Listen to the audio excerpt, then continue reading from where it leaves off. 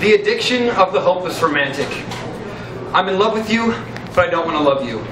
You're the only one who can make me feel happy when we are together, yet when we are together, that is when I truly feel alone. You're the instigator to all of my problems, yet I will always come back for more heartbreak after heartbreak. But the way you greet me makes me feel like I'm the only one in the room, and then I glance inside your eyes and find myself back in that inescapable pit of doom.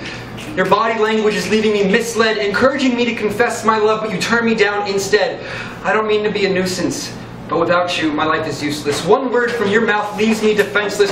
I, you don't love me, and I sense this. Forgive me for being relentless, but I'm infatuated with this game you're playing. I'm not singling you out, I'm just saying you confide everything to me. And as I reciprocate, you claim it's not meant to be. I realize I am never fully with you until I feel alone. And then you don't mind holding me for comfort because I was friend zoned. It's so cold, this so called best friend I wanted to end. Growing old with someone who actually loved me is how my life I want to spend. I'm done having a shattered heart I wanted to mend. I'm hooked on you, it won't end, I won't stop this trend. I love you, there's no denying. If I said I was over you, I was obviously lying. I'm okay. I'm not. I'm only trying. I won't tell you how I feel again. I'm okay with crying. We're best friends, but you say you want a man. I don't know what else to tell you. I'm doing the best that I can. For you, I have grown a chemical dependence. But every time I try, I'm left further from success. But come put your head on my chest. You can feel my heartbeat. I'm so sweet. Heartbleed, heartbeat. Love from you is all I need. Compared to other guys, I guess I can't compete.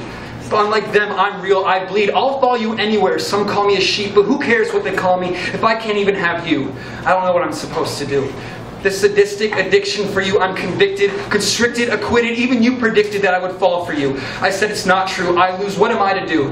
The hopeless romantic with reality tucked away in the attic. Some call it tragic, some call it pathetic. I hope you're apathetic. I'm sorry that I'm an addict, but I need to escape reality. And if I'm not with you, I'm lost without sanity. And it dies in the end. We're just friends. I guess my thoughts of being with you is all pretend. I would reminisce about the future and the time we'd spend. But seeing you bounce around from guy to guy, I'd rather be dead. I'm tired of sitting and waiting for you to finally realize I'm the one for you. I'm tired of always being at your beckoning call. I'm tired of always trying to move on, and once I reach out, I always fall. I realize that without you, I'm nothing at all. I'm aware that lying to myself and waiting for you is demeaning. But the meaning of life is defining what about this life gives it meaning, and seeing you with me gives my life meaning. But see, that's the problem with us hopeless romantics. We fall in love too fast with something that was probably never there. But we fall too fast and stay too long. We get so depressed we realize that it's time to move on. And after all, they'll realize that all along we were the ones that they should have dated.